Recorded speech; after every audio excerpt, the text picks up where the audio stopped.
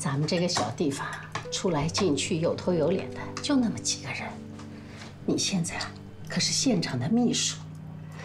妈妈也不是说让你去高攀个谁，可是人总得往上看吧。这江霞的爸爸你也认识，他是光明一中最好的老师。妈妈在人大，你是要在这儿待一辈子的，这两家有个相互照应，多好啊！来，把你给饿了。你现在啊，可是最舒服的年龄，饿了回来吃饱就走，家里什么事情都不用你管。那以后呢？有很多事情不是你想的这么简单。等结了婚，有了孩子，孩子谁给你带啊？这带孩子可不是一件容易的事，他是一秒钟都离不开人的。有个住得近的亲家跟我在一起，给你们搭把手，这解放的是你们自己啊！啊？饱了。啊，你呀，每天都这么忙，老是加班，今天刚好有空，妈妈跟你好好商量商量。下周呢，让你爸回来一趟，我们跟江霞一家好好坐在一起吃个饭，别让他阿姨整天来回的传话，啊。江霞那边，你主动一点，先约他一下，啊。我有女朋友啊！我跟你说了，不可能。以后这种话再也不要说了，除非我死了，否则这个事情他永远不行。谁给你电话啊？我的电话。谁呀？你自己看。阿姨好。啊，哎，你好，你好。你好好想想啊！我这刚吃完饭。嗯。我把我们的方案给几家分公看了，有一家有意向。我觉得你可以做好辞职的准备了。哎，黑春花听见没有？啊，听见了。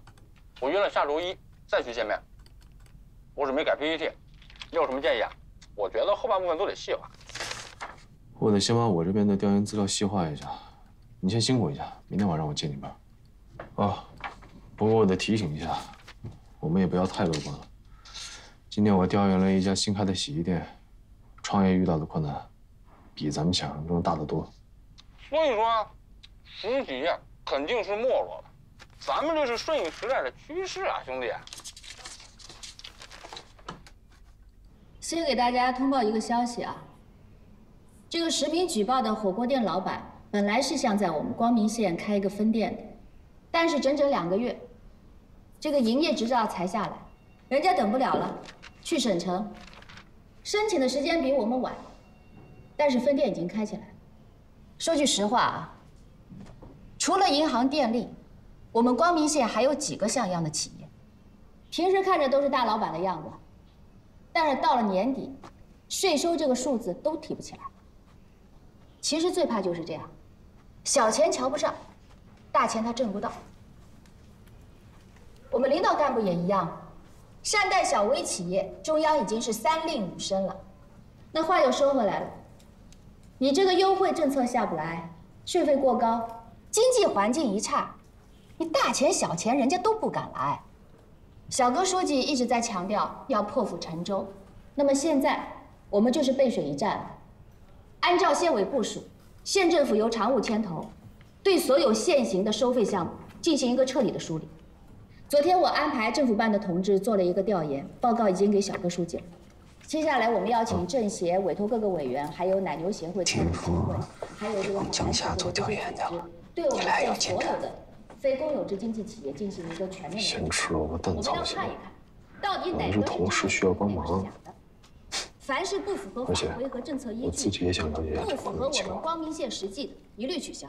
还不承认？原则上就是四个字：方便群众。小哥书记，我说完了。转一下。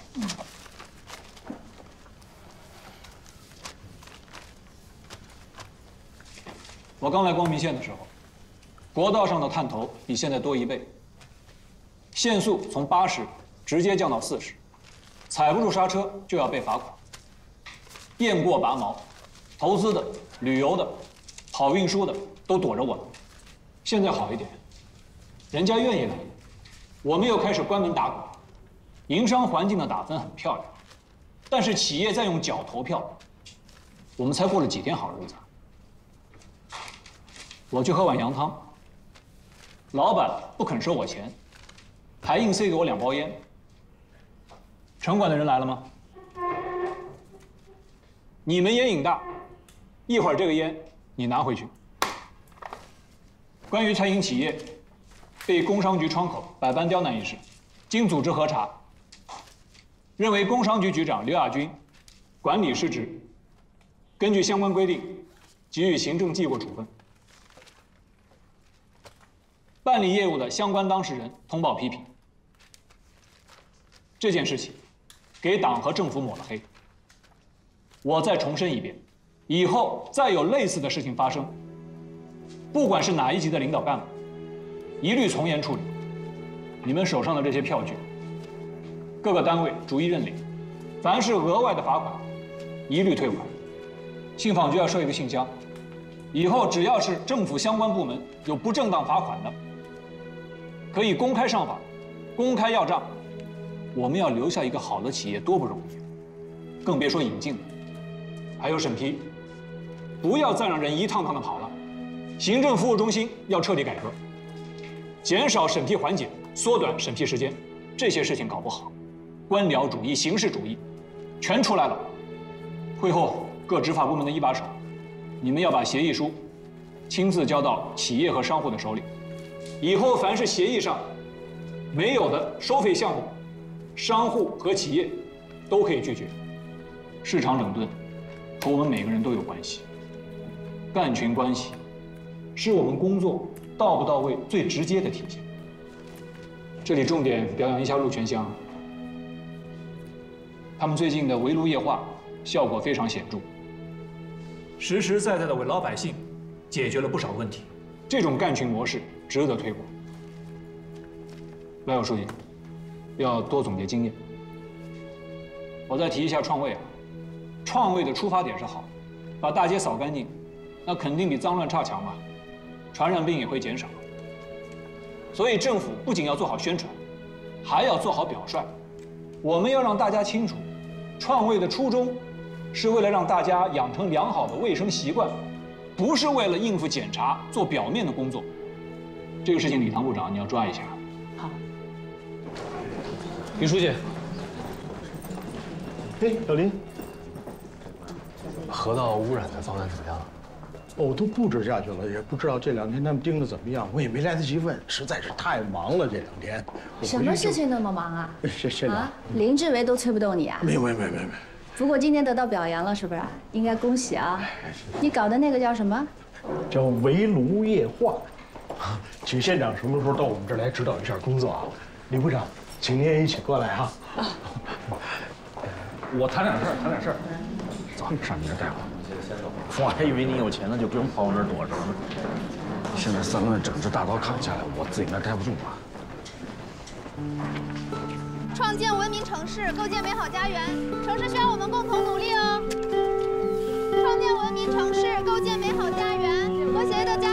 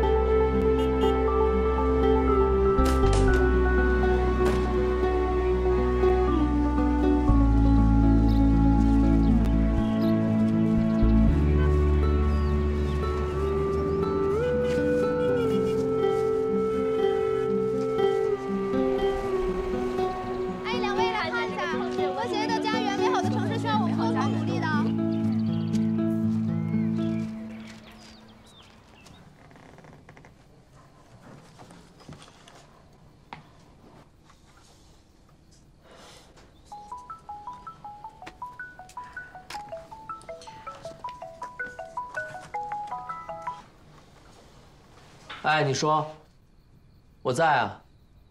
啊，今天没去乡里。拉肚子，村卫生所没人吗？给董大夫打电话了没有？行，那我过去看看。啊，你在家等我啊。好嘞。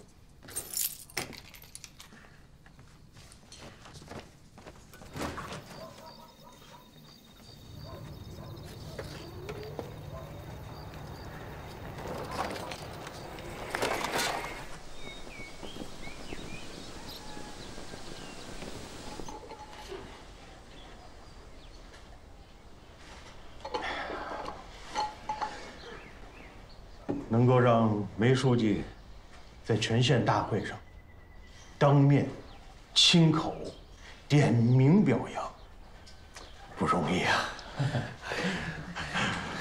说是夸我和乡长呢，其实都是你们的功劳，你们的功劳。嗯，干群关系，党群关系，要让鹿泉乡的每个村的每一条狗都认识咱们的乡干部，这一点我很自信。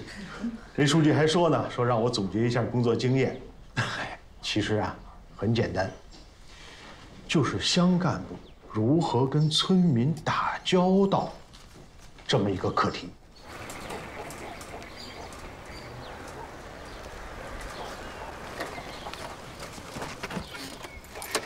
如果你对村民不熟悉、不了解，那很多工作上的麻烦呀，就会甩给村干部。比方说，如果有人上访去了，那你都不知道这个人姓什么、叫什么，家里具体什么情况，你怎么做工作？你怎么调解？是不是？那再有，如果发生群体性事件了，那几个带头闹得凶的，如果你认识他，你马上喊出他的名字来，他当时就能老实。所以说呀，乡村呀还是个熟人社会，有人情有面子，人嘛，都是讲感情的。嗯嗯。对了，那个长岭村子那个叫刘喜的，后来怎么样？没再闹事儿吧？他就是咋呼，那么懒，你让他去上访，他都不会去。嗯所以说呀，搞好干群关系、党群关系，梅书记用的就是这种跟群众座谈的工作方式，榜样已经树在这儿了，咱们必须迎头赶上。所以这个长岭村的围炉夜话一定要抓好、抓严、抓紧，而且要升级，要三进农家。哎，法兰厂是硬的，围炉夜话是软的，这一软一硬啊，就是咱们鹿泉乡的品牌。先给你们透露一下啊，今天晚上梅书记要来参加咱们的围炉夜话。哦，都先别说出去了啊。那个立青，哎，回头你跟肖女爵一块儿跟三宝对接一下村里的事儿啊。好，村组的人只要在家的，必须都来开会，除非难产生孩子的，都得来。不行，下午你也早点过去，跟三宝他们一块儿，在家的村民啊都组织起来，一块儿来开会。好，啊，好，人越多越好。行，辛苦放心吧。啊。非常好，书记，还是那个给村里捐书的事情，局里支持的力度很大，把光明一中图书馆的《资治通鉴》都要过来了，一直在宣传科的办公室里放着，人都快进不去了。村咱们抓紧时间把捐书仪式的日期定下来。大概多少啊？两千册总是要有的吧？周末的时候我回去整理过，啊，目录也拉出来了，一共是一千九百三十四。哦，不到两千册。嗯。哎呀，这么多书拉过来之后放在哪儿啊？怎么说也是人家的一片爱心，总不能就放在地下等着老鼠啃吧？不行，把那个村文化角先收拾一下，实在不行就扩一扩啊。呃，那个关键是月底我就回局里上班了，书记，我是怕这个事情，哦，你驻村期快到了哈，还有二十一天。这个三宝这两天也不知道跑哪儿去了，我一直没见着他。你要是看见他呀，你跟他说一声，哎，这个清河上游的水啊，现在里面都是猪粑粑，钓到鱼之后啊，让他自己留着吃吧，就别老给我送了啊。啊，李书记，嗯、有个事情我也不知道该问不该问。跟你说过多少次了啊？不开会的时候，或者就咱们两个人的时候，叫来有书。啊，你说说我跟你爸、你三舅、你姑父，跟你们家人的关系简直是太熟了。你说，嗯，就是捐书那个事情，是不是有什么问题啊？我看乡里和村里都不是太热情，是不是哪个环节我没有弄好？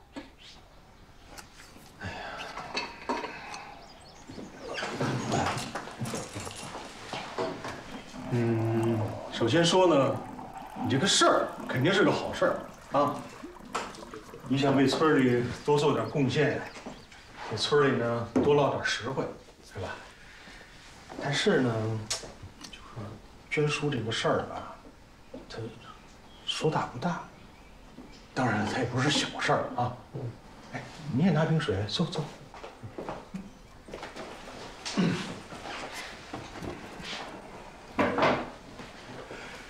教育局献爱心，捐给了我们那么多的图书。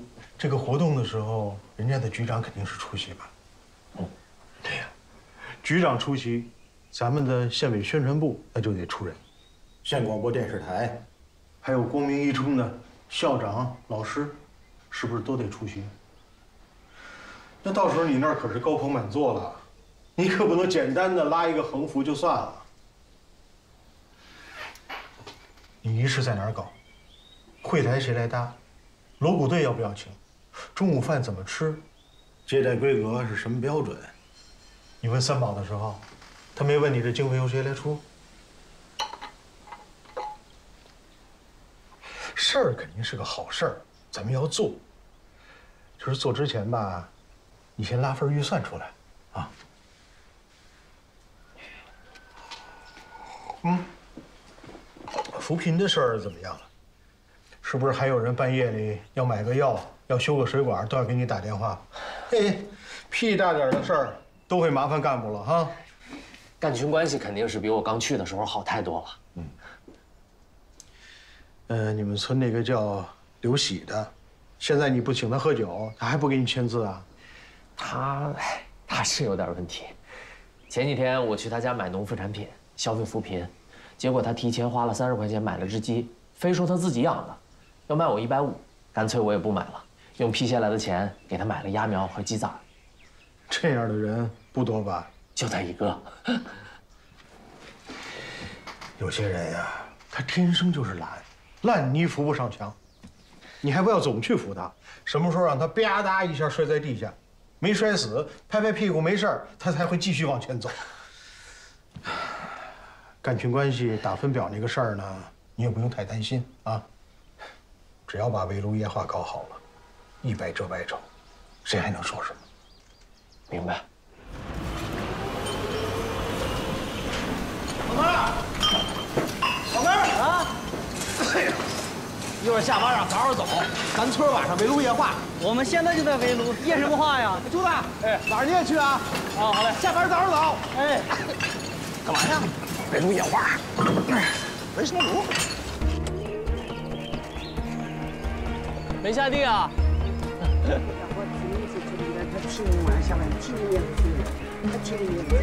周婶儿，中午吃饭了吗？啊，吃过了。吃过了，这给你拿药来了。好，好，好，好。哎，婶儿，这你的。好好好，谢谢啊。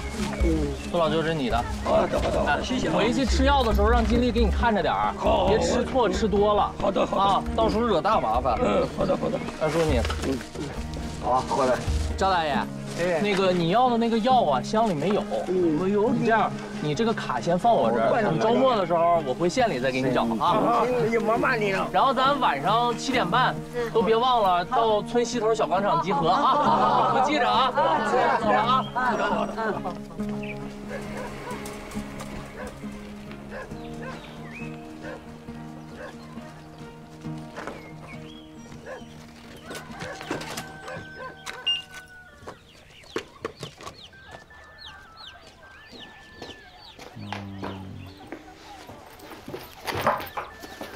我昨天走了以后又拉没拉？拉了几次啊？没拉。恶心吗？我给你开了点药，怎么吃我到时候给你写上，你照着上面吃，别吃错了啊。嗯。这药啊，肚子疼了再吃，肚子不疼就别吃啊。嗯，恶不恶心啊？现在？你这么一说，多少好像还有一点儿。这吃的是啥呀？这都是。你中午吃什么了？没吃。哎，晚上去村口你们管饭吗？想吃啥？方便面。行，跟我回村委会，我给你泡去。我再给你加个火腿肠。你怎么不说加个卤蛋呢？我表舅家一样是扶贫，人家县市有局帮户，见面就给钱，一次五百。你们发的这些米米面面的，一点都不值钱。你再不去，方便面没了啊！走走走，我这个腿疼啊，地都下不去。你帮我去把那个发的米搬回来吧，还在村委会呢。顺便帮我把方便面也带上，要桶装的。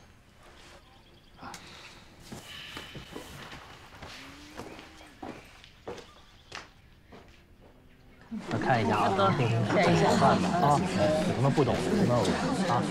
来，大姨，十二，来，家里人说一说啊。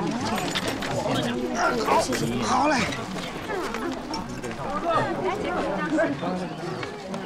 哦，来一张。哎哎，好，给给，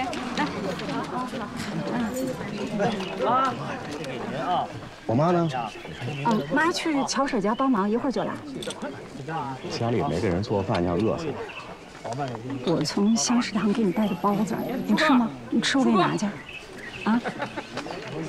有意识，跟家里头说一下啊，跟父母说一下，别上当就好了啊。哎哎哎，李书记，啊啊，嗯嗯嗯嗯，呃，这边的话都准备好了啊。说啊。哎，好好好，哎，好，呃呃，我这边呢，提前的话，我到村口去迎你一下啊。哎哎，好好好，哎哎。不是，刘喜说他腿疼来不了了，他是想把下个月钱先支了。他支鬼支！你赶紧让他给我滚滚过来！今天什么事他心里没数啊？别把我惹恼了，惹恼了把他们家烂门拆了。你给告诉他，去去去，让他滚！啊，好。乡亲们，今天梅书记参加咱们的围炉夜话来了，咱们鼓掌表示欢迎啊！好。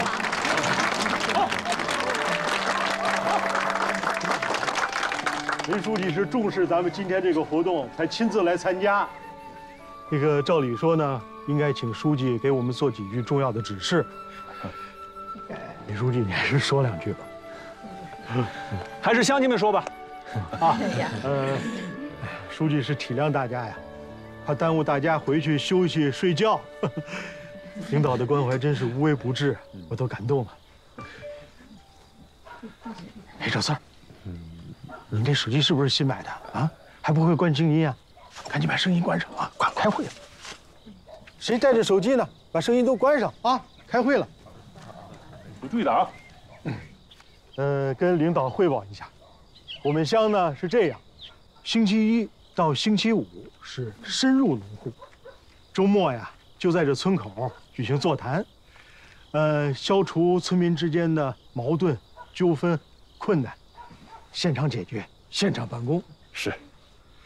同时呢，又给群众公布一些致富的经验和数据，真正做到干群。面对面。其实啊，私下里我跟我的那些乡干部们都说，你们要让每个村的每一条狗啊都认识你们，哎，见到你们呀不许叫，只准摇尾巴。说说吧，呃，谁家有什么事儿都说出来啊。呃，这个。书记来了就都不说话了，谁家有什么事儿都说说啊。那个书记啊，啊，嗯，我们家有两只鸡，从昨天开始都打蔫了，我就怕得上禽流感就不得了了。这事儿你们管不管呢？管，我得管，这事儿得管。这个三宝快记下来，回头跟那个兽医站联系一下，让他们连夜排查一下。那就好，那就好。前几天。乡办公室还飞进一只蝙蝠，不知道今天窗户关好了没？关好了吗？听说中央给了政策，脱贫攻坚，每家农户能分钱，像我这样的能分多少？什么政策呀？你听谁说的？网上呀，手机上都有，南边都开始发了。那是南边发了呀。你现在在哪儿呢？各个省都有各个省的政策，别听见了风就是雨点子。要真有什么政策，那肯定是我先知道啊。你呀，活儿都不干，就想着要发钱，发什么钱呀你？哎，还有谁家有什么事儿？欺负人打人管不管领导？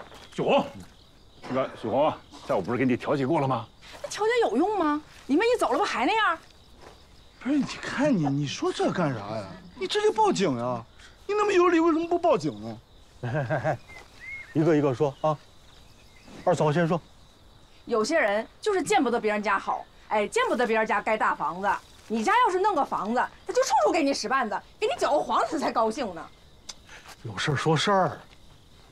他们家是那种土房子，大家都知道，那地基早就不行了，下边全是石头和沙子，几十年的老房子了。我们家重建的时候，那扒房子沟基下去深了点，扒塌了他家半间，那就协商解决吗？那三宝叔当时你也去了的。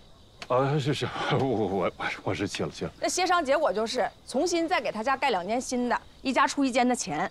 你这个问题是协商了没问题，我们家人口多，都住在一个院子里。你说你这盖这房子盖多久了？到现在都没有盖好，我们一家人往哪住？你当初说好的一家一半的，那隔了一夜就变卦了，非得让我们家七，他们家三，地基也不让打了。你说那院子本来就是我们家的，还让我给他画二十公分，你说这不是得寸进尺吗？吵吵起来就动手。李叔，你看看把我这挠的，他媳妇给我挠的，大家都看看。你瞅，我我跟你说啊，就你这张嘴，抓你都算抓的轻的。你咋不跟我干什干什么？坐下，坐下。喝醉了酒拿着菜刀砍我的是谁？是你爸。那咋不砍死你呢？你再给我说一遍。坐下。书记，没啥可说的。你让我没饭吃，我就让你拉不出屎，就这么简单。说什么呢？臭他！三宝，你也坐。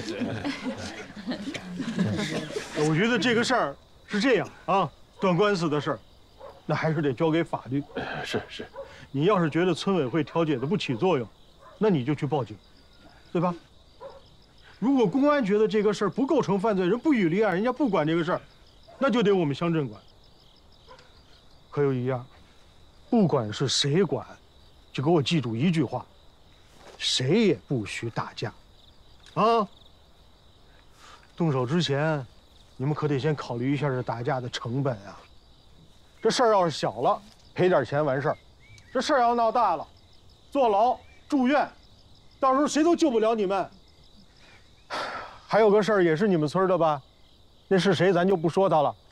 那年下了场大雪，到房顶上去扫雪。结果扫到邻居家院里去了，本来两家关系挺好的，就为了这个就打了一架。结果县医院没治好，乡医院更治不好，最后在省人民医院把这个断了的筋给接上。你问问他们俩后悔不后悔？这种事儿以后不能干。你们两家也都是有孩子的，你们做这些事儿，让孩子怎么看？你们就不能给孩子做点好榜样？等散了会之后，你两家都别走啊！我也不走，咱仨一块儿，咱把这个事儿给落实了，好吧？对不起啊，书记。还有谁家有问题？呃，那个，这个，李书记，那个，差差不多了。其实好多事儿都已经解决的差不多了。对对。那既然没什么矛盾了，咱们就说说挣钱的事儿啊。开会之前呀，有人问我买什么种子，依我说，市场需要什么，咱们就买什么；市场什么值钱，你们就卖什么。这能不能说的具体一点啊？那个什么，到底是什么呀？去年乡委号召大家种瓜，还把种瓜的面积下了命令，也就是说家家都得种，对不对？可是秋收以后，那根本都卖不掉，那个西瓜堆的就像个小山一样的，后来就全烂了。我们那时候是天天吃瓜，顿顿吃瓜，我媳妇吃的是越来越瘦了。后来到医院查了一下，得糖尿病了。还有我，你老婆吃出糖尿病了，我老婆都吃跑了。你给我闭嘴！你懒汉都是老婆，就就就。你三宝叔天天把吃不完的西瓜天天往我家里搬，一进门全是烂西瓜味儿，女人来了就跑。政府可得赔我个老婆呀！闭嘴，赶紧睡，睡。反正你们的话，我只能是反着听。你们叫种什么，千万不种。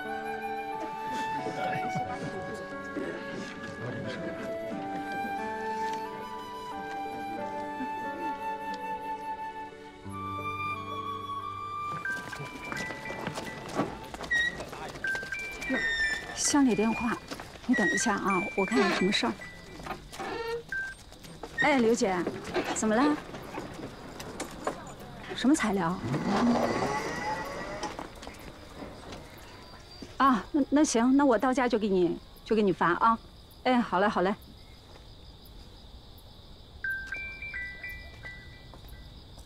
哎，我在村里呢。督察组不下周才来吗？你现在就要啊？也就是喝口水的时间，把他饭就吃了。那饺子有点麻烦，咱就吃手擀面，好不好？我今儿肚子饿得早，下午的时候在乡食堂喝了粥过来的，现在这肚子还鼓着呢。咱约下次啊，下次的。咱赶上哪次是哪次，你能总来呀？啊？你们是不知道啊，他爸爸那个时候啊，不管是送化肥呀、看种子啊，都是在我们家吃口饭才走的。妈妈，书记还有事儿，改天再请书记过来啊。姨呀，说实话，您包的这个槐花馅的饺子，我真是好多年没吃了。这样，下次我提前给他打电话，咱预约。哎哎，对对。我真该走了，您保重身体啊。哎哎，那行，书记，再见。哎，再见。慢走啊。你可一定来啊！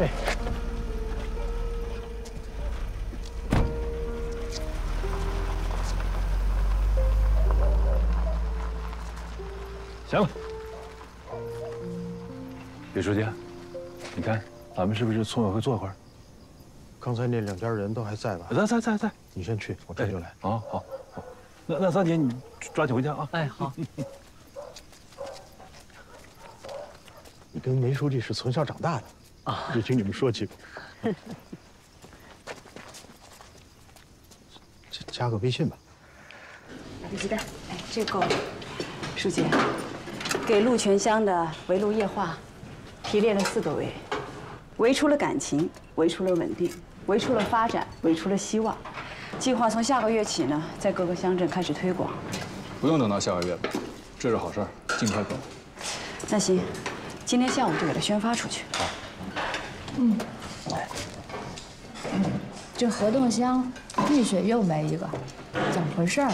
哎呀，是啊，十来岁的孩子，奶奶当时倒地上就不行了。这个防溺水啊，其实就在汛期前几天，中考结束之后，这是有规律的。留守儿童最容易出问题，还得吆喝，多吆喝吆喝，能挽救一个家庭。也算是积德行善。村里的留守老人对孩子没有约束力，安全的宣传教育主要还是得靠学校啊。嗯，这现在的学校也不敢碰孩子呀。这要放在过去，那孩子不听话，你给两巴掌，孩子知道疼就不敢了。这下河游泳的呀，就是那些调皮捣蛋、水性好的，管住他们几个就完了。就像那个村里上访的，一村一百来户，真正有问题的就那么三四家。保护孩子的安全，这个事儿还是很重要的，在饭桌上解决不了问题，得落实下去，有专人负责。李堂部长，这个事儿你抓一下。行。昨天晚上我去鹿泉乡参加了他们的围炉夜话，效果还是不错的，大大小小的矛盾不出村子就能解决。嗯，这要是能在全县推广，信访局的压力也能小不少。那好，东风得请你来有吃饭了。鹿泉乡是把干部和村民心里的那堵墙给拆了，彼此之间没有隔阂。我在想，咱县委大院的墙是不是也能拆了？说实话，真要有人翻进来，咱也管不住，是吧？那还不如拆了。那样的话，我这压力可大了。没了围墙，牵马的、放羊的都进来了。你这什么时候进来头牛，把哪个领导给顶了？我可承担不起这责任。那郝东风第一个得封。可不是。哎，小杨，哎，你看看政法委的张书记是不是站在门口啊？现在小哥书记说要拆墙，不敢进来了。吓着了。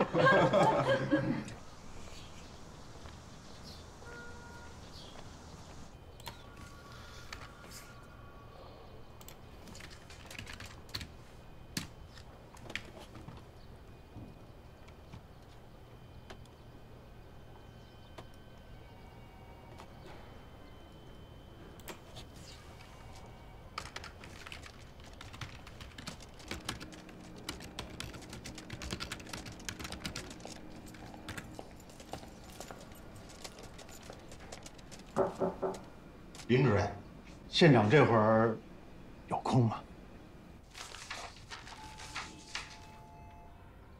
嗯，这是内部发言，不要写的温情脉脉的，看着倒是像蓝线的讲话稿，直接一点，把困难写足了。我们是受害者嘛，改完了再给我看。行。责任主体确定了吗？嗯，污染源早就找到了，这证据都在。公对公、私对私的接触了好几回了。问题是蓝县那边他一直就这么磨磨唧唧的。这上游他要是不配合的话，咱们下游干着急那也没办法呀。去一趟，先把李书进到。如果沟通不了，那我去市里发言，就直戳肺管子了。就是因为上游的那家化工厂，我都去实地看过，罪魁祸首就是他。那么粗的污水排水管，紧挨着咱们县界，这蓝县他就是故意的。这个化工厂是人家刘县长的挂点联系企业，蓝县的纳税大户。这市里的领导有的时候也是揣着明白装糊涂。这么一个有背景的被告，在当地要严肃处理。怎么可能？反正他们也是拖字诀。这个监测数据准不准确？这赔偿责任怎么界定？谁有资格认定污染源？谁的检测结果更权威？法院到底是相信谁的调查结果？这都是问题。一笔笔的糊涂账。我就怕。上边调查组要是查下来，反正先挨板子的肯定是咱们蓝县，才不着急。你看吧，过去之后啊，还是得跟咱们打太极拳。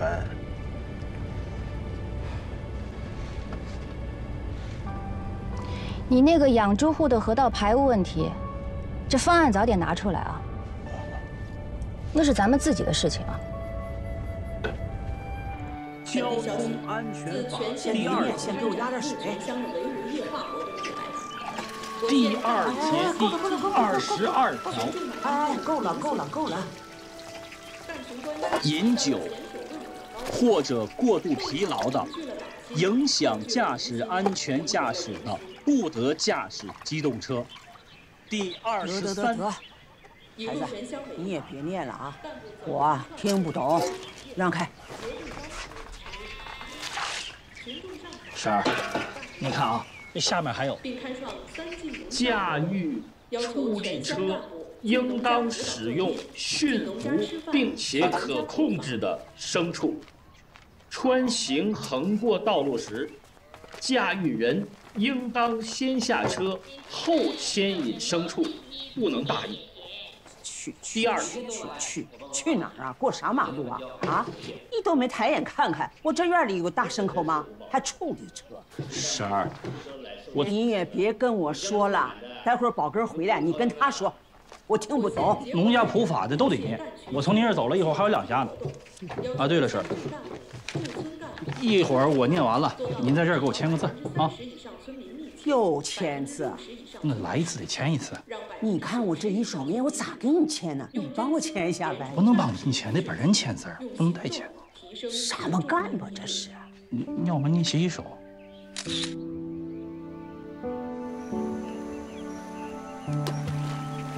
你们自己看看，这是什么呀？这是。我说你们这个乡镇的能不能不要数蛤蟆呀？我戳你们一下，你们动一下。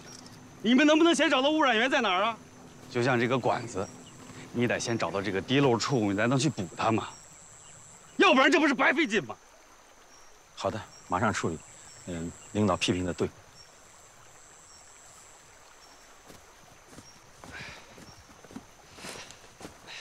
哎，县长啊，说实话，我来之前这条河呀，比现在还脏还臭。